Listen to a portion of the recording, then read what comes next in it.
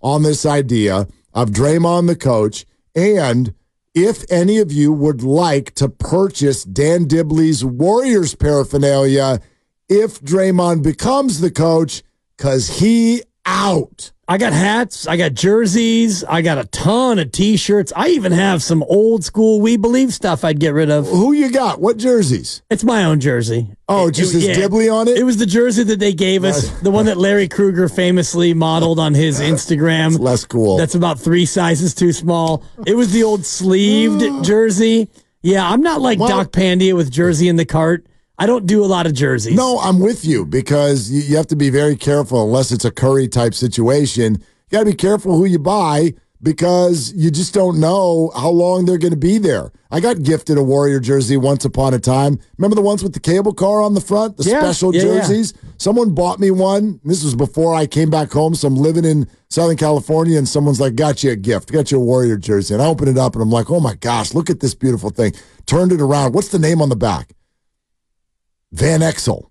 Oh, that's a classic. It, it is, and I still have it. Yep. But like you know, Yeah. not quite a lifetime dub. Anyway, uh, let's go to Pat in Foster City. Hi, Pat. What are you doing?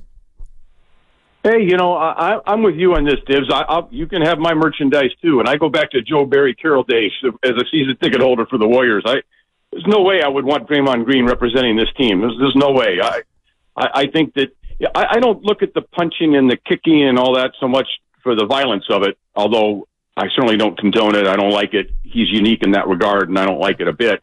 But the thing that really irks me, and the thing that I would just couldn't see him being a, a, a coach and a, a leader in a team is that how much he's let the team down. I mean, he, he's cost us regular season games. He's cost us playoff games. He's cost us playoffs, period. And, you know, the number one thing is being available to your teammate. And if you're, if you can't control yourself to the point where you're taking yourself off the court, that's, that's not having a bad game. That, that's like saying to the team, you know, to me, that's, uh, that's giving the finger to the team. I don't, I don't care about you. I'm, I'm, it's about how I feel. I'm going to act out. I, I just couldn't support that as a, as a coach and a rep- representative of the team. And, So, and Pat, agree, Pat, I want to, with what you- I, I want, I want to jump in and ask you a question here. Same one that I asked uh, Dibs, because you and I see this differently, which is fine. I think your opinion is probably well represented uh, out there, and everybody listening to us right now. Um, but you and Dibs have both said you you could not support Draymond representing this team, and what I don't understand is why you don't see him as a representative of this team now. Well, I, I never, I, I, I would have uh, b- before. You know, if you go back, maybe I don't know how many years, three or four years ago, uh, I supported Draymond. I thought he was, you know, a really good player. I thought he, you know, brought effort. He brought smarts. He brought a lot of things to the team. But over the last several years, with the technical fouls and the violence and punching and missing playoff games and costing us playoff games, I, I've I've tuned him out. So I, I'm a Warrior fan despite Draymond. I, I've never. I'm not, I've not. I've long not been a Draymond fan. I- I, Right, wish so- we didn't have him. I. So why So, would that yeah. why would that change if he were the coach is what I'm getting at, Pat. Like you said you Well, wouldn't I get- yeah. you, you wouldn't No, want him as a no, I- leader of the team and and I would argue he very very much already is. I, I I guess what what I with the way I look at it, it's not so much from a, a local standpoint, but more from a standpoint of you know who represents the Warriors on the global map. Who- is the spokesperson? Who's the person that's people look to? And you know now it's Steve Kerr, and I think he's been terrific. He he, he comes out on issues, and he's a team guy, and he you know, I, I have tremendous respect for him, and I think almost everyone does. But with Draymond, I, I just don't see how he would have that level of respect. Uh, may, maybe amongst diehard Warrior fans, he would, but not not on a global stage where people look at me. They look, look at him as a, as kind of a thug, you know, like a guy that can't control himself. Uh, Uh, that, that's just my Yeah, take. yeah, fair enough. Pat, thanks for the call. Appreciate it. I, I, I guess where, where I keep getting stuck is not uh, necessarily, although I don't agree uh, and, and don't see it the same way as Pat, which is totally fine. Where I get stuck, though, is when we say, well, except Steve is the one who is representing the Warriors on a global stage. Right. He's he's out front uh, in terms of the non-playing Warriors, yes, he's the representative.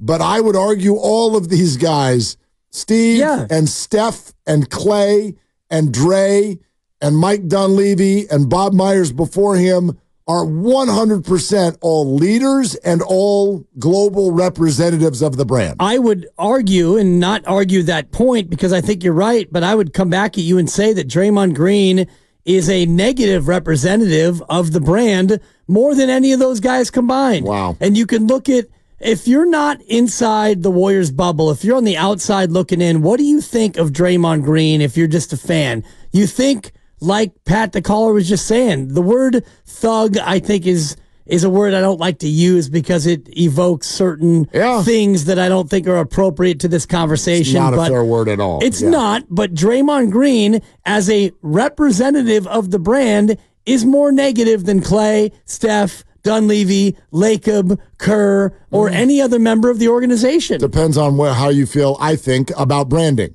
Um, I see what you're saying. if you're outside cer- this organization, you think about Draymond Green and the Warriors, you think a certain thing about it. I'd argue you think about the brand a lot more because of Draymond. Right, but I think you think negatively about the brand because of. Draymond. I don't. Not exclusively negatively, but if you're outside this market, you're going to think more negatively about the brand because of Draymond than any other person. Uh, maybe it depends on how you feel about branding. Like I and said, how you feel about Draymond. Yeah, but Dray- Draymond Green, uh, you know, I don't always subscribe to this, but you hear a lot of people say things like, um, "There's no such thing as bad publicity." Sure. If you feel that way, then Draymond Green is absolutely a driver of this brand. Like I would right. argue. Do you feel that way though? If you're like, I mean, I'm sure that I don't. I don't always buy that. There's no such thing as negative publicity. I don't think that. Right. A- ask Scotty Scheffler this week if he thinks there's such thing as negative publicity. And I wonder about think the endorsements of the the guys with the Golden State Warriors because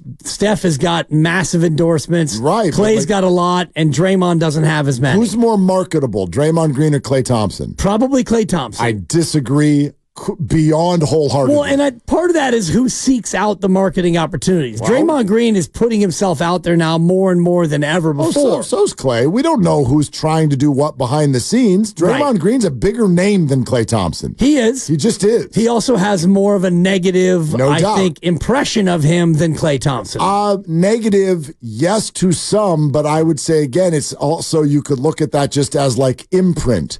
Um, it could be considered controversial. That's not necessarily Right. quote unquote negative.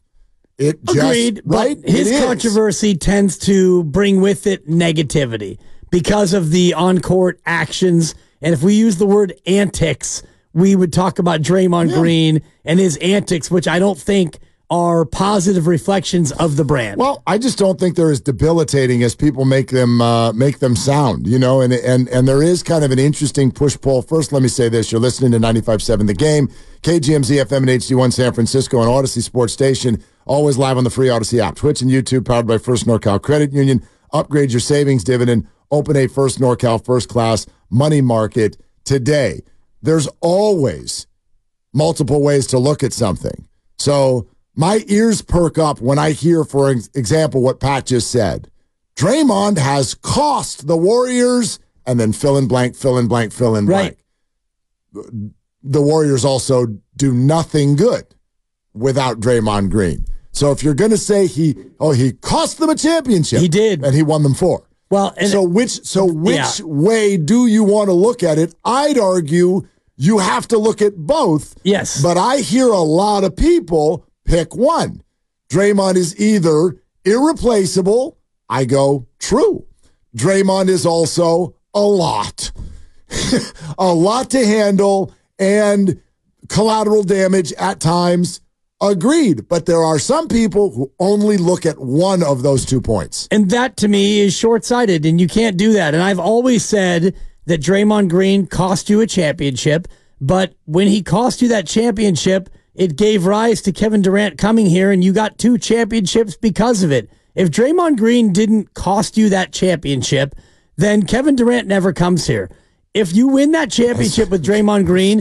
Kevin Durant does not become a Warriors. And Kevin has said as much. He's not going to come join this team after they win a championship. So, yeah, if Draymond doesn't get suspended and you win that chip, you probably don't win another one right away because Kevin doesn't come here. And I don't think that that team wins three in a row without Kevin Durant. of course, yeah, no, the, and the story unfolds the way it does. It's just Exactly. again, my point being, I think you have to look at the whole picture. I hear a lot of people pick one. They're either just Draymond fans, Right. And they're like, man, we don't win a damn thing without him, or like, in my opinion, our last caller, Draymond cost us this, and he cost us that, and he cost us that, and he cost us that. Well, you Like, gotta look at the whole balance Like sheet. you're only looking at things like again the the five situations in history where you feel he has completely pushed the team in a negative direction and you're leaving out the fact that every single person in that organization says dynasty Right. doesn't exist if he's not here. And I get that. And I'm not trying to look back at not. any of I- that. I I'm looking yeah. at it right now from this point forward, and I look at Draymond Green and three more years, and Steph's got two, and Klay may be done. We don't even know.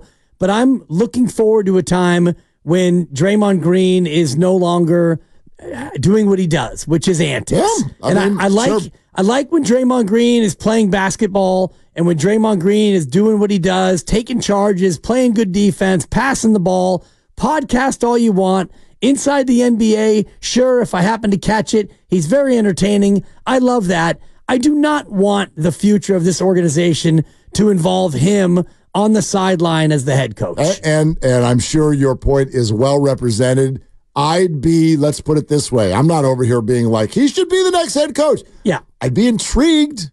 I'd be open minded. And that's how I'd answer it. me giving up my fandom might be just a passionate in the moment take, and I don't know if push came to shove and we oh. got to that moment. I Oh, don't. No, no, you no, know, don't leave your take. I never? I love your take. I love the take too, Mark. I got but video ideas. There's dibs in his backyard with the with barbecue the, uh, and the the, barbecue. like, I've on. never understood that from an. I'm very eco-friendly. I can't imagine that's very eco-friendly, we, can but find an uh, we we can find an eco way to I mean, do what do I do? I become? I can't become a Kings fan. I c- absolutely revile the Lakers. Do I become a Clippers fan? I'm already bald like Ballmer.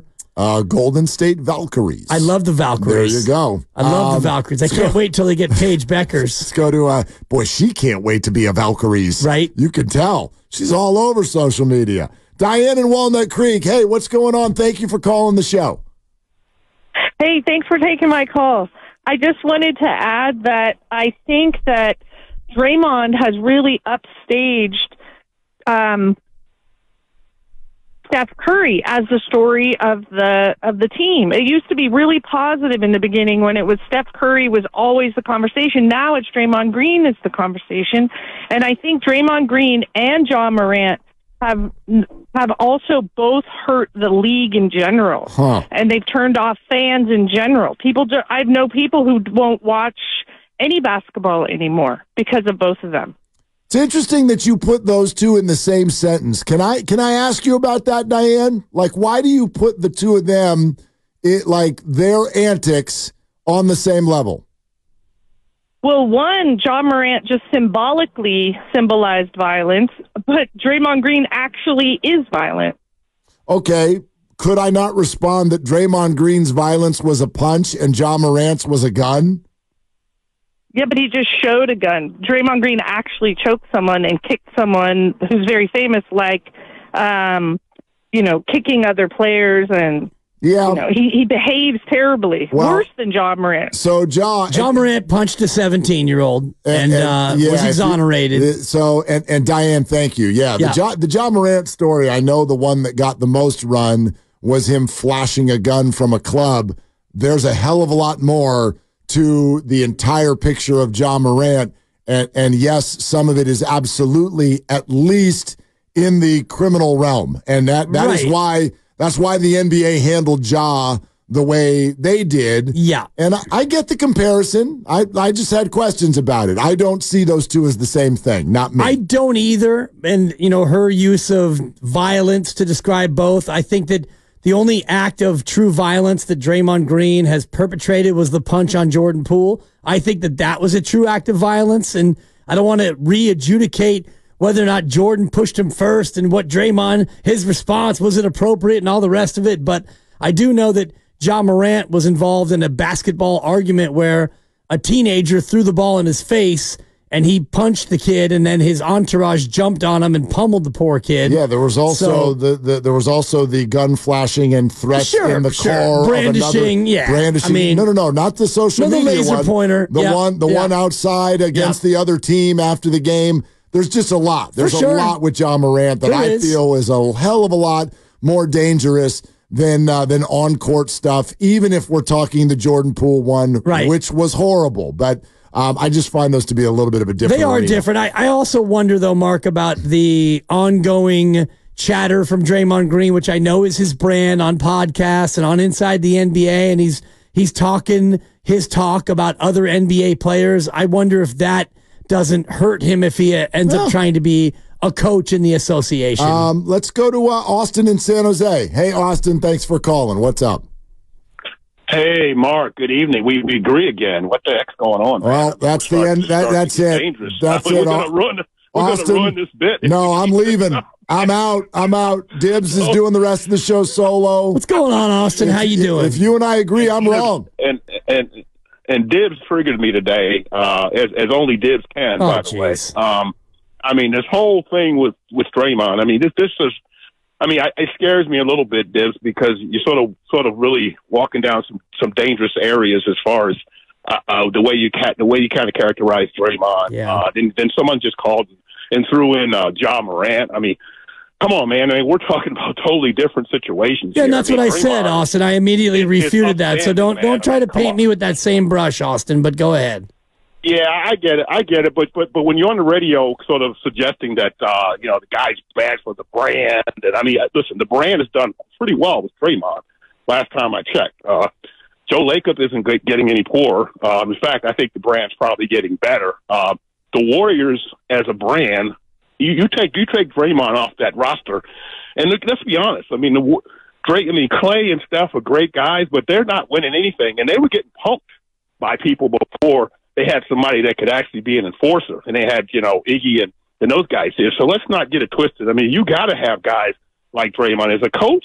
Absolutely, I think the league wide, the players respect the fact that he stands up for his his teammates. Man, I mean, this whole notion that the guys wouldn't want to play for him, I think, is ridiculous. So I, I, I totally disagree with you, Dibley.